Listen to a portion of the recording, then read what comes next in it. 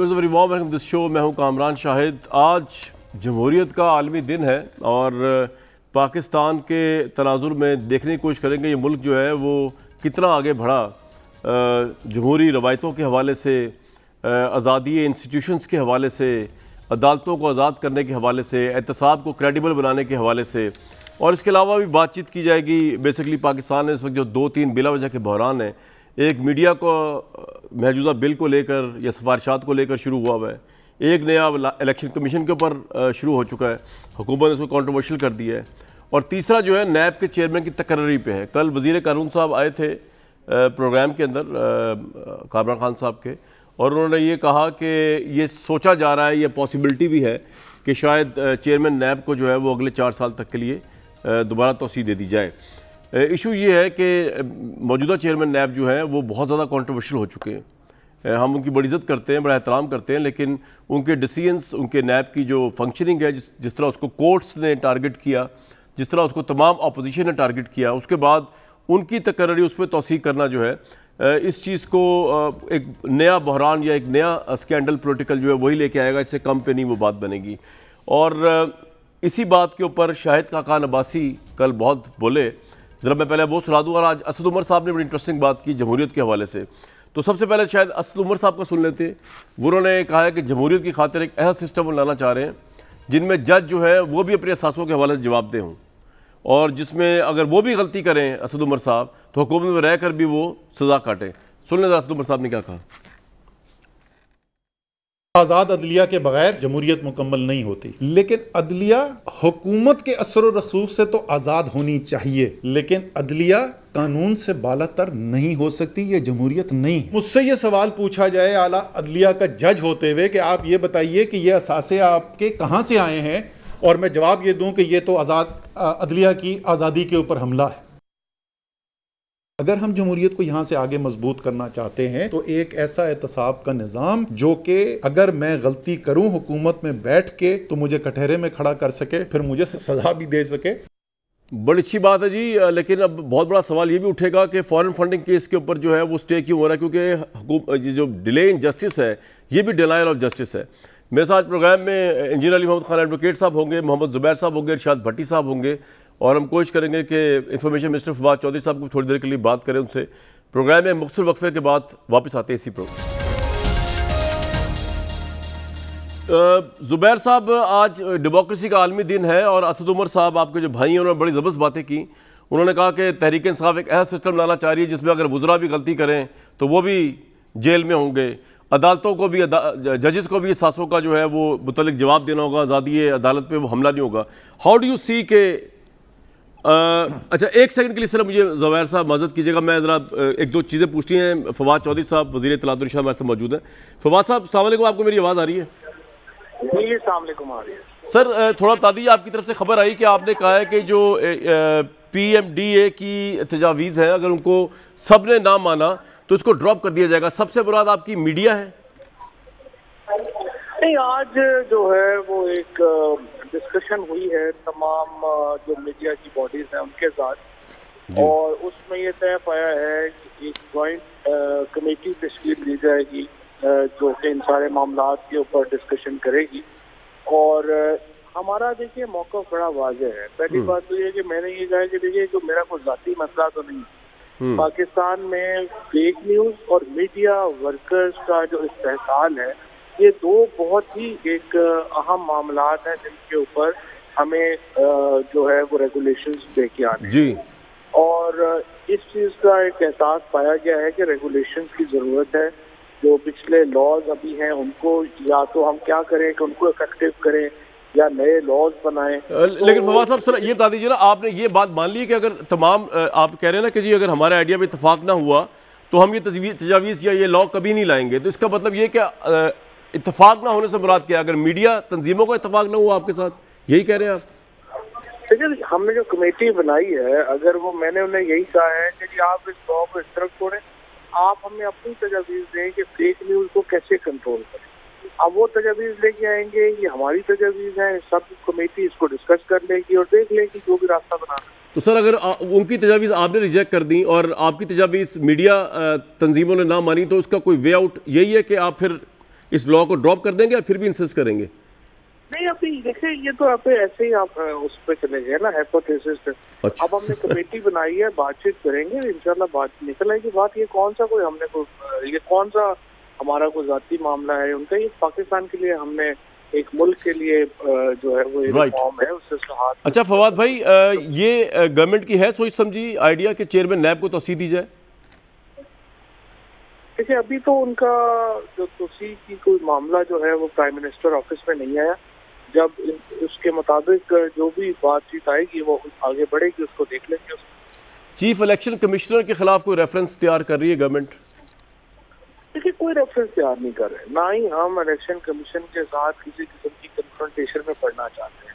हम्म। झगड़ा सिर्फ़ ये है कि हम ये कहते हैं कि इलेक्शन कमीशन में जो भी उनके तहफात हैं वो मीडिया के ज़रिए सामने नहीं आने चाहिए। वो हमारा एक मैकेनिज्म है एक इंस्टीट्यूशनल मैकेनिज्म एक इदारा जाती निज़ाम मौजूद है उसको इस्तेमाल करना चाहिए। और ये लगे लगना शुरू हो जाए कि अपोजिशन की ज़ुबान जो है वहाँ से कुछ लोग इलेक्शन कमीशन से बोल रहे हैं तो उसका फिर जवाब देना पड़ता और, है। और आप इस बात पे कायम है कि पूरी कैबिनेट की राय है कि चीफ इलेक्शन कमिश्नर को मुस्ताफी हो जाना चाहिए बशमूल प्राइम मिनिस्टर के। हमने जो भी बात वहाँ पे मुतालबा करते हैं या बात करते हैं ये बाकी कबीला ही की जो भी बात मैं करता हूँ मेरी जाती राय नहीं होती है हुकूमत ही की राय होती है। लेकिन अगर वो इस्तीफा नहीं देते तब भी आपको मंजूर तो होगा उनके अंडर जो इलेक्शन हो रहे हैं आइंदा आने वाले। कोई उसमें या आप उसमें प्रोटेस्ट करेंगे? देखिए ये इतनी लंबी कहानियाँ नहीं होती। बस सिंपल बात यह है कि इलेक्शन कमीशन से अभी जो हमने अपने तहफात का इजहार किया हम उम्मीद रखते हैं इलेक्शन कमीशन उन तहफात के ऊपर अपनी जो रवैया है उसका अच्छे ऋण जायजा लेगा और इनशाला ठीक हो जाएगा। बिल्कुल ठीक। फवाद चौधरी साहब बहुत शुक्रिया। हमारे साथ मौजूद थे आ, मीडिया के लॉ के मतलब भी बता रहे थे एक ब्रेक थ्रू ये है कि वो उन्होंने मीडिया को भी कहा भी तजावीज़ लेकर आए। तो उससे आगे चले ज़ुबैर साहब मेरा सवाल वहीं स्टैंड कर रहा है आपसे कि किस हद तक डेमोक्रेसी इंप्रूव हो रही है इस मुल्क के अंदर?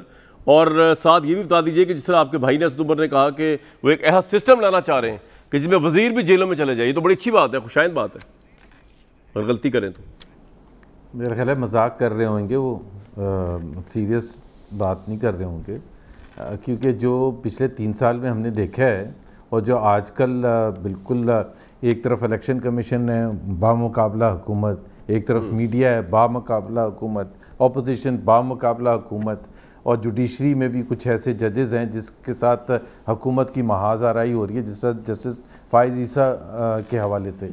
सो so, कोई भी ऐसी जमहूरी रवायात को फ़रोग तो नहीं दे, दिया जा रहा। जो भी कहा जा रहा है, उसमें वो उस किस्म की थिंकिंग जो है, जो अथॉरिटेरियन थिंकिंग होती है, किसी भी मुल्क में जो अथॉरिटेरियन मुल्क हैं, इमरान खान की तो मुझे तो खैर कभी कोई शक था ही नहीं जब वो क्रिकेट कप्तान भी थे। तो आप किसी से भी पूछ लें कि सबसे ज़्यादा अथॉरिटेरियन कप्तान थे, और वो कोई बच्चे नहीं थे, पच्चीस साल के नहीं थे, बयालीस साल के थे जब वो कप्तान थे, जब उन्होंने छोड़ा था। So he his mindset is like that और वो उसी किस्म का निज़ाम लेके आएँगे। जब वो रेफरेंस देते हैं या तो वो बिल्कुल अगर फोकस्ड हो ना वो कह रहे हैं जमहूरी इकदार तो फिर वो वेस्टर्न डेमोक्रेसीज का हवाला दें हमेशा। स्वीडन का स्विट्ज़रलैंड का कनाडा का यूके का। वो क्यों हवाला देते हैं चीन का? क्यों कहते हैं कि पाँच हज़ार लोग टांग देते हैं? क्यों ये कहते हैं कि सबसे ज़्यादा हमारी मुश्किल ये है कि यहाँ हर पाँच साल के बाद इलेक्शन कराना होता है? ये होता है जमहूरी रवायात को फ़रोग देना। Is anti democracy he is a fascist ruler he does not believe in anything मैंने आपको दो तीन तो छोटी छोटी एग्ज़ाम्पल दे दिए जब वो ये कहते हैं कि चाइना ने इसलिए तरक्की की कि वहाँ वन पार्टी सिस्टम है और वहाँ इलेक्शन नहीं कराने पड़ते। और हमारी मजबूरी है। हमारी मजबूरी हालाँकि आइन कहता है कि प्राइम मिनिस्टर एक इलेक्टेड प्रोसेस से होके आए आप उनको फाशिस्ट कह रहे हैं। वो एक इलेक्टेड डेमोक्रेटिक प्रोसेस से आपको मैंने अच्छा ये मुझे बता दें he should he should then just talk about the western democracies जो मिसाल हैं हम सब के लिए। चाहे वो वेस्टर्न यूरोपियन कंट्रीज़ हैं, चाहे जापान है, चाहे कनाडा है, चाहे यूएस है, फिर इनको उनकी एग्जांपल देनी चाहिए।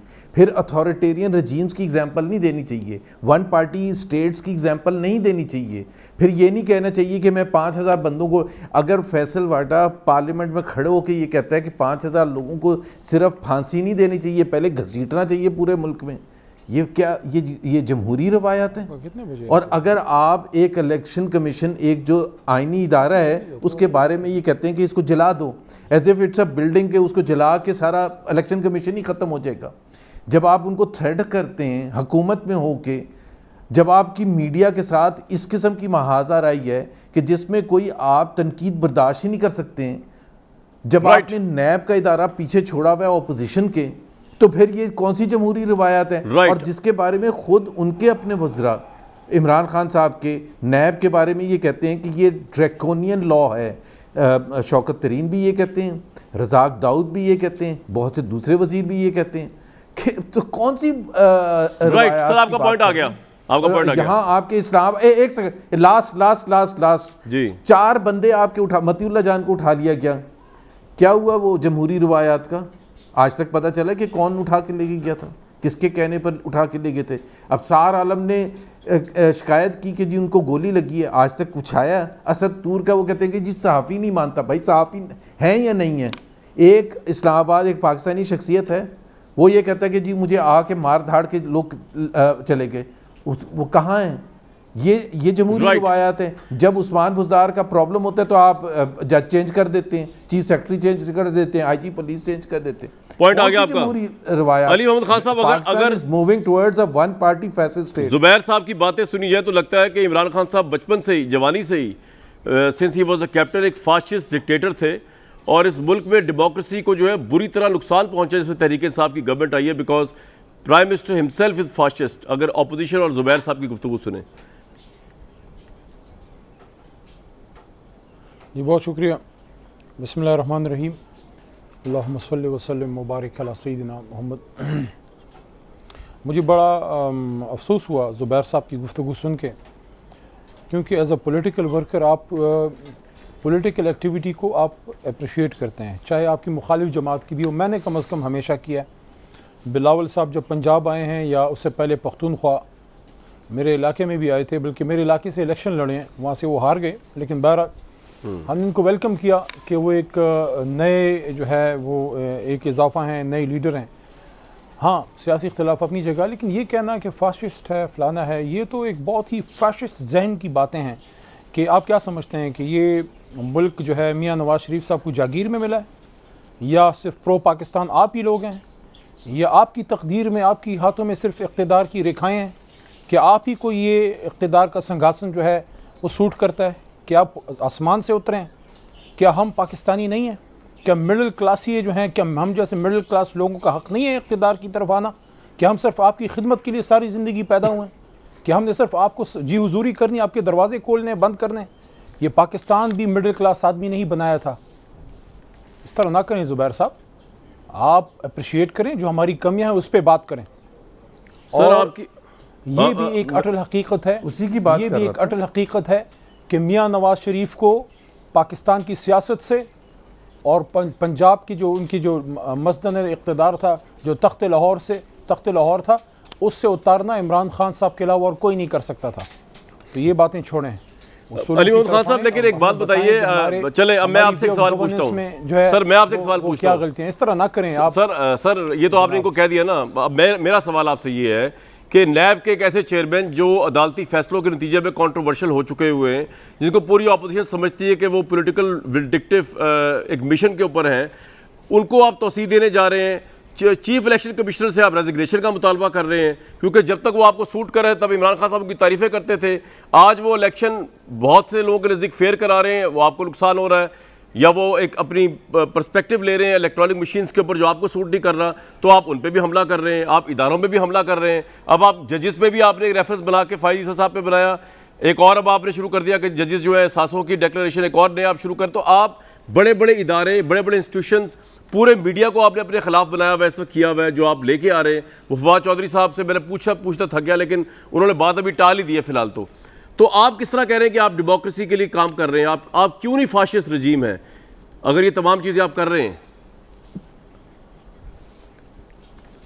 नहीं, वो मीडिया के हवाले से तो आपने फवाद चौधरी से बात कर ली है, बल्कि मेरा तो ये ख्याल था आप उन्हीं से करते प्रोग्राम क्योंकि बड़ा एथिकली रॉन्ग होता है कि एक ही पार्टी से दो बंदों को बैठा के तो आप सवाल जवाब करें। मैं समझता हूँ ये वोंट अप्रिशिएट दिस मैं तो देखें जो आपका इदारों के हवाले से सवाल है उसका बहरहाल मैं जवाब दे देता हूँ कि तहरीक इंसाफ आखिरी जमात होगी जो इदारों पे एज इदारा अटैक करेगी। हाँ इलेक्टोरल रिफॉर्म्स पे एक नई तजावीज़ देना हमारा इस्तेकाक है और हमारा हक है। आ, पाकिस्तान तरीक इंसाफ का सिर्फ़ ये काम नहीं है। हमारे अलावा तीन चार बड़ी जमातें और भी हैं जिनको जिनका ये फ़र्ज़ बनता है कि वो पाकिस्तान में इलेक्ट्रोल सिस्टम को ठीक करने के लिए अपनी तजावीज़ दें कामरान शाहिद साहब। जी जी। आ, अगर किसी को हमारे ई वी एम से तकलीफ़ है अगर किसी को ओवरसीज़ पाकिस्तानीज़ नहीं भाते और वो नहीं चाहते कि ओवरसीज़ पाकिस्तानीज़ जो हैं वो पाकिस्तान में वोट करें तो उनका अपना एक नुक़ नज़र है लेकिन इनकी तजावीज़ किधर हैं? चीखते चलाते तो ये रहे हैं तीन साल। इनकी तजावीज़ किधर हैं? मेरा सवाल मुख्तलिफ़ था सर ये ये जाए ये जाए सियासी तौर पे भाड़ में मेरा सवाल कुछ और था आपसे। मेरा सवाल ये था कि इलेक्शन कमीशन अगर आपकी मशीन को एक्सेप्ट ना करे तो आप उसके ऊपर आपका एक वज़ीर कहते हैं खुद जला देंगे। दूसरे वज़ीर कहते हैं फवाद चौधरी साहब कह रहे हैं कि जी उनको इस्तीफा दे देना चाहिए पूरी कैबिनेट की राय है। आपकी भी ये राय ये पूरी कैबिनेट की कलेक्टिव राय है कि चीफ इलेक्शन कमिश्नर को रिजाइन कर देना चाहिए। पहले तो इसकी तस्दीक तरदीद कर दें। इन्फॉर्मेशन मिनिस्टर ने कई जगहों पर बात कही है। देखें पहली बात तो ये है कि अगर किसी वज़ीर साहब ने यह कहा है कि आग लगा दें फलाना कर दें उन्होंने जज्बात में कही होगी कोई भी संजीदा सियासी कारकुन इस तरह बात नहीं करता गुस्से में इंसान से बात हो जाती है। तो मैं कैसे उस बात को डिफेंड कर सकता हूँ? और रेजिग्नेशन जो है आपकी कैबिनेट मांग रही है इलेक्शन कमिश्नर से? Resignation as as a cabinet मांगा आपने? नहीं देखिए कैबिनेट की ऐसी डिसीज़न मेरे नॉलेज में नहीं है। हो सकता है कोई अभी फवाद चौधरी साहब कह के गए लेकिन कलेक्टिव डिसीज़न है। लेकिन देखिए देखिए मैं आपको अर्ज़ करना चाहता हूँ जो इलेक्शन कमीशन है उसको हमने कुछ तजावीज दी जिस पे उनकी कमेंट्स आए उनकी राय आए जिससे वो एग्री नहीं करते। यार अली भाई आपका ताल्लुक क्या बनता है मशीन को इम्पोज करने का? आपका ताल्लुक ही कोई नहीं है। ये तो इलेक्शन कमीशन का काम है मशीन ले मशीन ना ले। सर आपका ये राइट ही नहीं आप मशीन दें। आप मशीन क्यों दे रहे हैं? आप क्यों इम्पोज कर रहे हैं मशीन जी साहब देखें मेरी बात जी जी बताएँ बताएँ बताएँ। हँसते भी बता दें बेशक। जी जी बता दें। इधर मसला हाँ इधर मसला ये है सारे यूट्यूब पे बैठ के इधर से उसने वीडियो बनाई उधर से इसने वीडियो बनाई उधर से ये बात होगी इधर से उधर से बना के एक बारह मसाले की चाट बन जाती है। कोई क्या है उधर? जो स्टैंडिंग कमेटी है उधर उधर कौन कितने मुझे आप बताएँ जितने आपके टॉप के एंकर्स हैं जितने वर्किंग जर्नलिस्ट अपने आप को कहते हैं कितने वहाँ पार्लियामेंट हाउस में आके रिपोर्टिंग करते हैं? हर कोई तो ये नहीं, नहीं, मैं तो ये आपसे कह नहीं रहा मैं जलाने वाली बात नहीं कर रहा भट्टी साहब तो खैर जाते ही नहीं ऐसी जगहों पर मैं आपसे कुछ और कह रहा हूँ सर मेरी बात तो सुन लें। आप इलेक्शन आप इलेक्शन कमीशन ऑफ़ पाकिस्तान के ऊपर मशीनें क्यों इम्पोज कर रहे हैं? उन्होंने रिजेक्ट कर दी बात खत्म हो गई। और सर मैं मैंने क्यों ये बात की है? इसकी एक वजह है ना। There background to what I said हाँ जी बताएँ। उसकी वजह ये है कि उसी स्टैंडिंग कमेटी में हमने मैंने एज अ पार्लिमानी उमूर के वज़ीर के जिसकी रिस्पॉन्सिबिलिटी है इन चीज़ों को उधर देखना और उसके साथ साथ शिबली फराज साहब और हुकूमत की तरफ़ से और भी लोगों ने यह बात कैटेगोरी के लिए की कि जो आप बात कर रहे हो ना हमने ये की है कि इस्तेकाक ही आपका है। कौन सी मशीन लेनी है कहाँ से लेनी है कौन सा मॉडल लेना है हमने सिर्फ़ आपको एक लॉ बना के दे देना है कि भाई ये चीज़ है और उसमें भी कोशिश ये करेंगे हमने अपनी अपने तई कोशिश की अनफॉर्चुनेटली आपका मॉडल रिजेक्ट हो गया। कि उनसे बात करने की। अनफॉर्चुनेटली आपका मॉडल रिजेक्ट हो गया। एंजॉय करें इसको भी हंसे। मेरी बात सुने। हाँ जी। लॉ मेकिंग पार्लियामान का इस्तेमाल है हो। गया। वो हम बनाएँगे। लॉ के मुताबिक इलेक्शन कराना इलेक्शन कमीशन की रिजेक्ट हो। गया। अली भाई बात ये है एक तो आपने बड़ी अच्छी बात की आपने तरदीद कर दी कि जी इलेक्शन कमीशन ऑफ़ पाकिस्तान के मुस्ताफी होने का मुतालबा कलेक्टिव आपकी तरफ़ से नहीं आया कैबिनेट की तरफ़ से। दूसरा जो है मैं जरा भट्टी साहब से न्यूट्रल राय ले लूँ क्योंकि आप दोनों तो एक दूसरे पे करेंगे आप आप कह रही है आसमान से उतरे हुए नहीं वो आपको कह रहे हैं आप डिक्टेटर हैं। भट्टी साहब ये ये, मैं हैरान इस बात पे हूँ कि ये कह तो रहे थे अभी अली भाई, कह रहे थे, जी, नवाज़ शरीफ को उखाड़ फेंका, इमरान खान साहब ने। लेकिन मसला ये है कि लाहौर कंटोनमेंट का इलेक्शन जो हुआ, मुल्तान का जो हुआ, वॉल्टन का जो हुआ, पिंडी का जो हुआ भावलपुर का जो, उसमें तो नज़र आ रहा है कि नवाज़ शरीफ अभी भी ज़िंदा, उसके नाम के नारे लग रहे हैं। इतना सब कुछ होने के बावजूद, ये भी जमहूरियत का हुसन है और ज़रा इनकी जमहूरियत में भी निकाह डाल के बताइए, अली भाई जो कह रहे हैं कि ये इन लोगों ने गलत काम कोई किए ही तीन सालों में और इदारे बड़े मज़बूत हो रहे हैं इनके अंडर। बशमूल इलेक्शन कमीशन, जनाब। देखिए मेरे लव गुरु मैं बड़ा हैरान हूँ आप कितनी। मासूमियत से सवाल पूछते हैं क्या लफ्ज बोला आपने? है। आगे चले, पहली बात तो ये है कि लव गुरु का है। अच्छा पहली चले, बात तो ये है कि ये असद उमर साहब ने जो असद उमर साहब ने जो कहा कि जज ये सारे सारों का एहतसाब होना चाहिए। मैं उनके साथ हूँ जज जर्नैल सियासतदान और हम सब सारों कोई भी कानून से बड़ा नहीं आइन से बड़ा नहीं सारों को अपने असास से जर्नैल भी आपने कहा है मेरे कानों को सुनाई नहीं दिया। सॉरी सॉरी दोबारा रिपीट आप जर्नैल भी आप कह रहे हैं? सब भट्टी साहब तबीयत ठीक है आपकी? सर सर दोबारा सुन लीजिएगा। अच्छा। दोबारा सुन लीजिएगा। सर आप कई मरतबा मेरे इसलिए तो मैं आपको लव गुरु कहता हूँ कि जज जर्नैल सियासतदान हम सब पूरे पाकिस्तानी हम सबको हम सब कोई भी आइन से बड़ा नहीं पाकिस्तान से बड़ा नहीं और सबको अपने असासों का बताना चाहिए और इदारे टूटे फूटे जो मौजूद हैं सबको सब का हिसाब लेना चाहिए। दूसरी बात ए, करना एक इमरान खान साहब को अपने 22 साल तब्दीली सिंबल को जो तब्दीली लाने के लिए उनका कहना चा, चाहता हूँ कि काश आप पिछलों से कोई सबक सीख लें जो पुरानी गलतियाँ ही ना दोहराएँ। नई गलतियाँ करें तो एक समझ आती है पुरानी गलतियाँ ही ना करें। तीसरी बात यह है कि आज है आपने जो इंट्रो में दिया जमहूरीत का आलमी दिन। जनाब। तो इस पे मैं आपको एक बात बता रहा हूँ ये मेरी राय है आप कोई इससे इख्तलाफ करें या इससे एग्री हो। इस सिविलियन स्टफ़ के साथ हम कभी भी अगले पचास साल चलते रहें असली जमहूरीत तक नहीं पहुँच पाएँगे। क्यों नहीं पहुँच पाएँगे? ये सारे जमहूरीत की ज़िद हैं। ये ये फौजी डिक्टेटर तो होते ही बुरे हैं। फौजी डिक्टेट मार्शल नहीं लगने चाहिए फौज को यार साहब को कुछ ना कहिएगा बाकी सब ठीक है आगे चले आप। अच्छा जी जी। नहीं नहीं कहता इसलिए तो आपको लव गुरु कहता हूँ। अच्छा ये ये फौजी डिक्टेटर तो हैं ही बुरे लेकिन ये जो ये फौजी डिक्टेटरों से भी ज़्यादा खतरनाक हैं ये सिविलियन डिक्टेटर जो हमसे वादे करते हैं अली भाई जुबैर साहब। बाद हमारे अच्छा, घरों में हाँ, इमरान साहब अच्छा अच्छा, अच्छा और ये जेरनी तौर पर ये जेरनी तौर पर घड़े घड़ाए बने बनाए बादशाह हैं। ये हम जैसे नहीं हैं खुदा के लिए।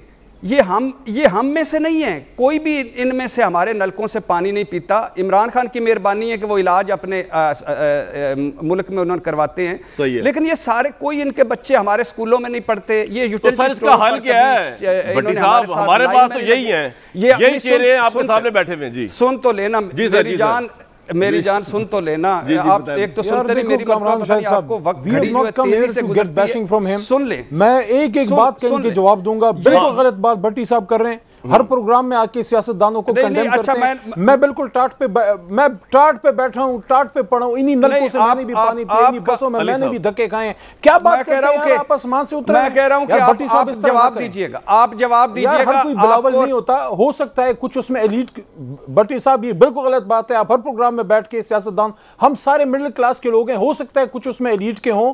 अल्लाह ताला के करम से क्यों नहीं करेंगे भाई? मैं आप लोगों को क्यों नहीं करेंगे? आपके साथ हम बाईस साल खड़े रहे हैं। कंडेम कर सकते आपके साथ हम 22 साल खड़े रहे हैं। आप कौन सा भाईजान आपके साथ हम 22 साल खड़े रहे हैं आपके तब्दीली के नारे मारे जाते हैं। यार भट्टी साहब इस तरह ना करें। आप मैं आपको बताता हूँ ना बताता हूँ यार सुनते भी नहीं आप सुनते भी नहीं एक तो सुनते नहीं किस तरह आप में से नहीं आप मेरी बात सुन लेना बात बात तो सुन ले। हम अगर हम अगर अवाम में से नहीं है अवाम आप सब घरों में बैठ के दरवाजे बंद करके बैठे हुए थे। हम इस कंधों पर जो है आटा लेके अवाम के घरों तक मैंने खुद पहुँचाया है। आप किस तरह बात कर सकते हैं कि हम ये शेख रशीद अवाम में से नहीं है? ये आपके जो पीपल्स पार्टी के बेच बहुत से लोग हैं अवाम में से नहीं है? मुस्लिम लीग नून में से बेशुमार लोग अवाम में से ये कौन सी बात है कि हम हर शाम बैठ के यहाँ पे सियासतदानों को कंडेम करें? हम में जो करप्ट हैं उनको कंडेम करें। हम में जो मोरूसी सियासत करते हैं उनको कंडेम करें। जो अपने दम पे आए हैं अपने बाप को नहला के अब उनका जनाजा पढ़ा के पहुंचाऊं मैं इधर। ये कौन सी बात है कि आप हम में से नहीं है जी भट्टी साहब भाई मैं बात सुनेंगे नहीं सुनेंगे आप? दोनों को भट्टी साहब नहीं सुनेंगे ये है जमहूरी अच्छा। रवैया। जी जी भट्टी साहब। बोले बोले भट्टी साहब सुन रहा हूँ आपको बोले। मैंने इनकी सारी सारी बातें सुनी। क्या ये जमहूरियत है? ये क्या जमहूरियत है? ये जो हमें 22 साल के बाद लगा गए कितने अनइलेक्टेड लोग हैं? मान लिया चलो ये भी है। क्या ये जमहूरियत है कि आपके आटा गंदम वाले किधर गए?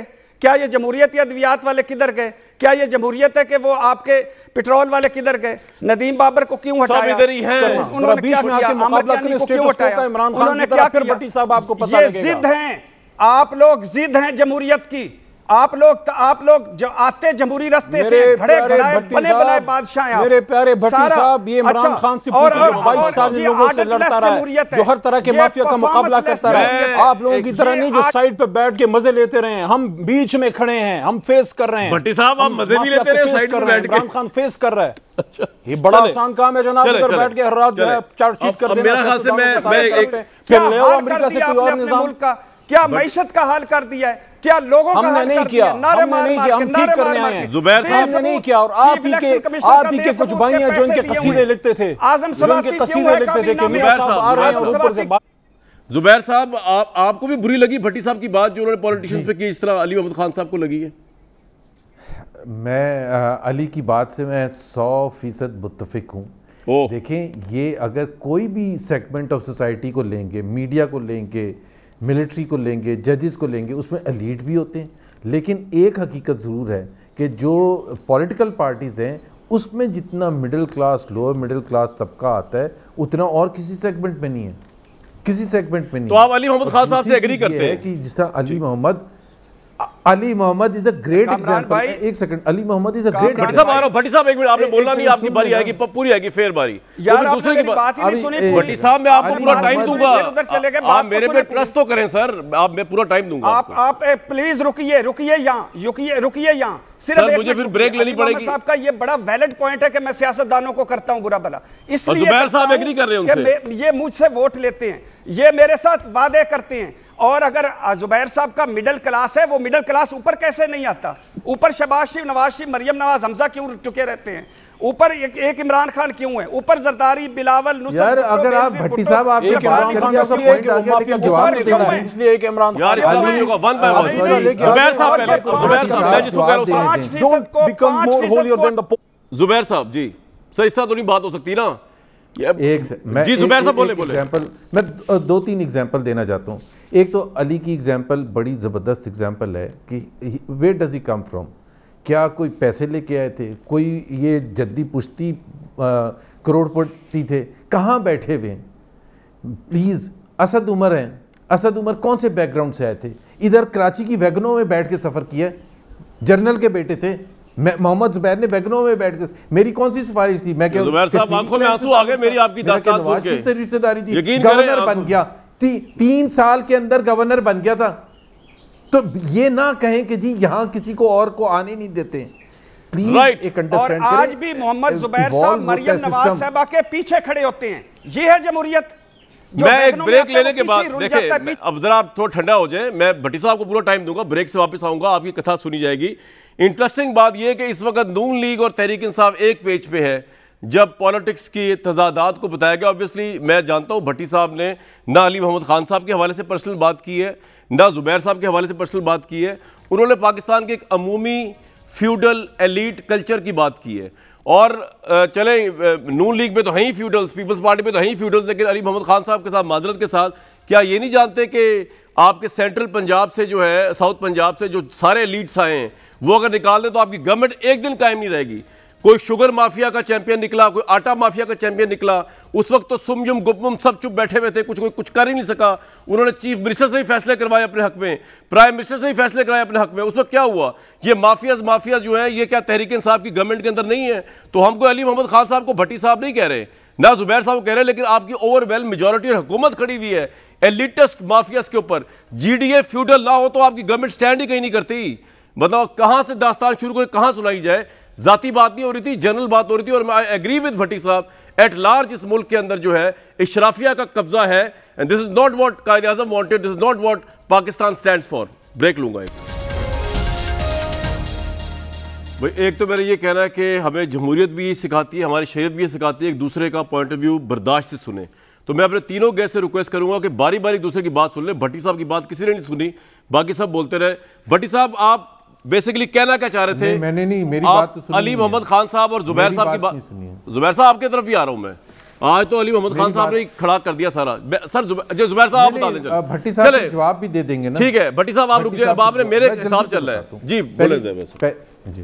जी पह, पह, पहली बात तो ये है कि ये इन्होंने ये बड़ी अच्छी बात है ऐसी डिबेट होनी चाहिए और भट्टी साहब को जो शिकायतें हैं वो बिल्कुल अपनी जगह होंगी और उसका मुदावा भी होना चाहिए। तो मुझे कोई इशू नहीं होता डिबेट करने में। दूसरी चीज़ ये इन्होंने कहा मरीम नवाज़ क्यों है क्यों है?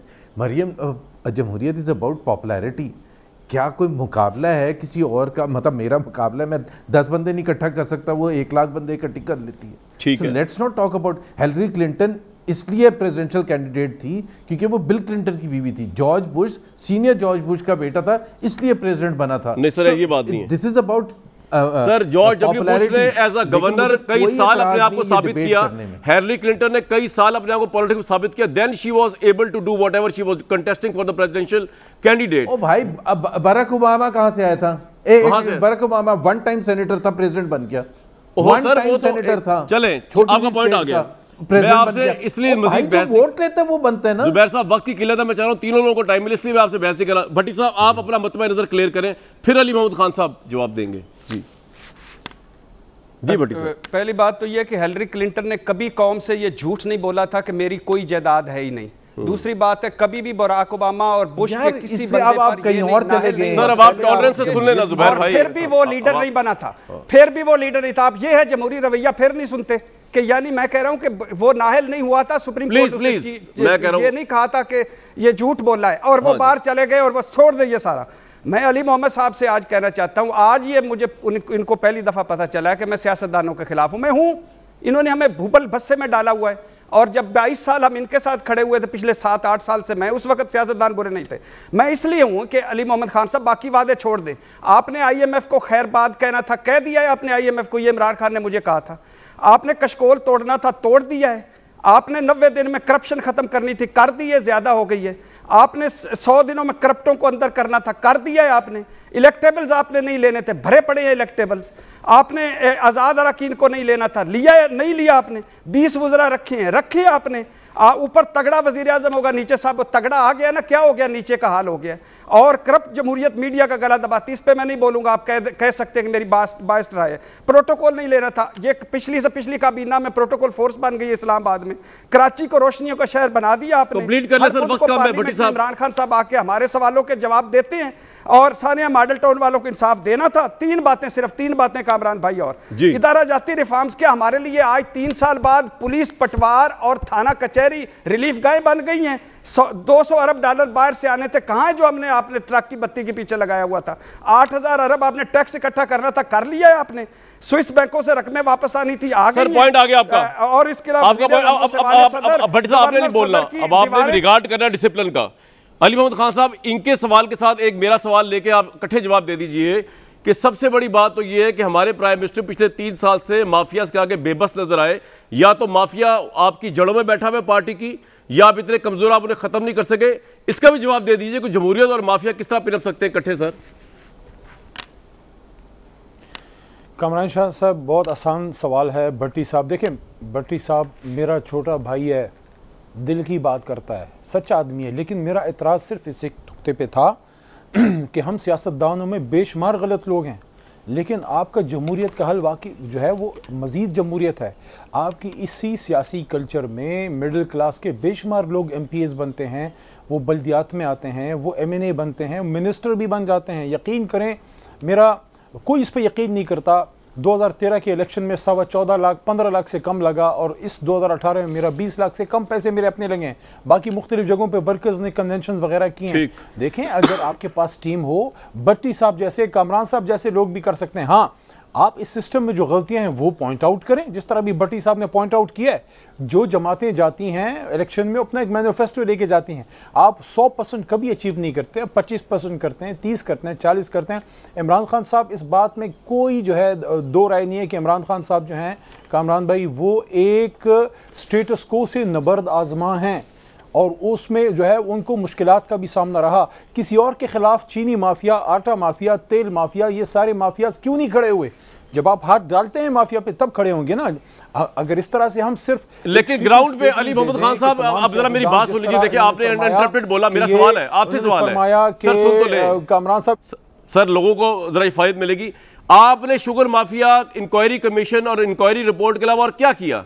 ग्राउंड पे शुगर सस्ती हुई ग्राउंड पे आटा सस्ता हुआ, ग्राउंड में पेट्रोल डॉलर एक सत्तर तक पहुँच गया।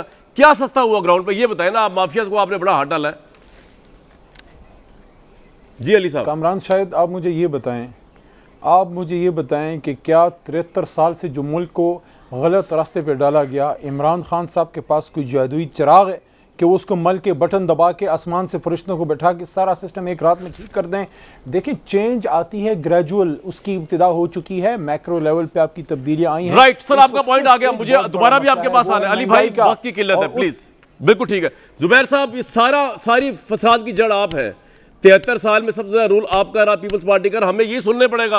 अगले 20 साल तहरीक इंसाफ की गवर्नमेंट अगर रही सुनने को मिलेगा कि आपकी वजह से चीनी सस्ती आपकी वजह से आटा सस्ता नहीं। तरीके का कामरान बात नहीं अगले पाँच साल तो आपको सुनने को नहीं मिलेगा कि इंशाल्लाह ठीक करने के लिए हम अगले पाँच साल भी अल्लाह के करम से बैठेंगे। एक नुकता अली भाई अभी को सुन ले मैंने शरीयत का हवाला दिया। आपकी इजाज़त मैंने सर एक मिनट जुबैर साहब कंप्लीट कर ले। जुबैर साहब कंप्लीट कर प्लीज़ मेरी बात अली प्लीज़ बात सुन ले यार। जी जुबैर साहब वक्त के लिए बोले बोले बोले। बात होती है फैसलों की बात तीन साल या तिहत्तर साल की नहीं होती। आज जो फैसले किए ना मिसाल के तौर पर अगर आपने फैसला किया कि चीनी को एक्सपोर्ट करना है और चीनी कम होगी। आज प्राइम मिनिस्टर ने कल काबीना ने ये हेडलाइन लगी हुई है कि वीट प्रोक्योरमेंट में डिले की वजह से कीमतें बढ़ी हैं। अब इसका तिहत्तर साल से क्या ताल्लुक है मुझे बता दें। सही है। ये क्या बच्चों वाली बात है? आप अब आप रुक फैसलों को अली मोहम्मद खान साहब कुछ सवाल कर रहे हैं भट्टी साहब से। जल्दी को क्विकली पूछ ले वक्त कम है। अली भाई कुछ सवाल आप कर रहे थे? भट्टी साहब से। वीट प्रोक्योरमेंट पर कल कैबिनेट से कहा है ना? मैं आवाम भुगत रही है कि अभी अगर मैं इस बात को बुनियाद बना लूँ कि जिस तरह फेक न्यूज़ बनती है क्या मुझे कोई ये राइट देगा कि मैं चंद लफाफा साथियों की वजह से ये कह दूँ कि इसका जवाब मैं भट्टी साहब से भी लेता हूँ और खुद भी देता हूँ। आपको एक ब्रेक के बाद एक ब्रेक लेंगे। एहतसाब और इंसाफ के आगे सभी बराबर है। फेक न्यूज़ देने वाले भी यू टर्न लेने वाले लीडर भी क्योंकि कानून जो होता है, उसकी निगाह में सभी बराबर होते हैं और ये मेरा ख्याल से हुकूमत में ज़्यादा ज़िम्मेदारी इसलिए आयद होती है अपने बात करते हैं क्योंकि आप पावर में हैं इस वक्त। तो अभी तक आप अगर ये नहीं समझ रहे कि आपके पास इख्तियार और आप माफिया तो ख़त्म नहीं कर सके और आपने करना था तो भाई ये सवाल भट्टी साहब की तरफ़ से भी आएगा, मेरी तरफ़ से भी आएगा। इसको भुगते और बर्दाश्त करें और मुझे कल तक दीजिए इजाज़त।